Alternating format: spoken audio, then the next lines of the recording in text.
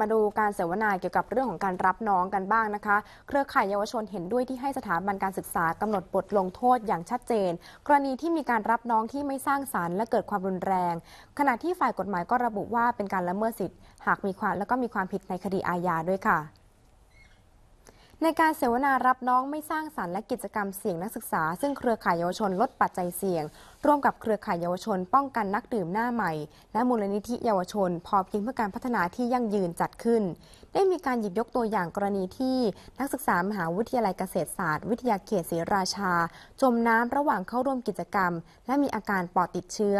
รักษาตัวอยู่ในห้อง ICU มาเป็นกรณีตัวอย่าง โดยมีบิดาของนักศึกษามาร่วมเสวนาด้วย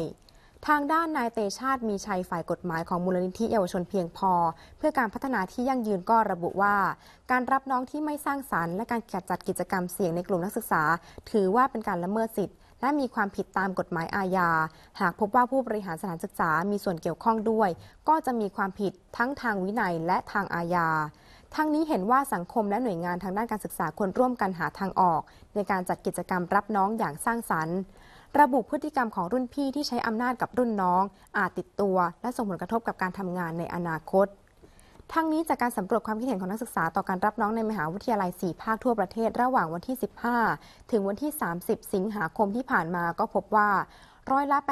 89.30 ต้องการให้สถาบันการศึกษานั้น มีบทลงโทษที่ชัดเจน หากเกิดเหตุการณ์รุนแรงเกิดขึ้นค่ะ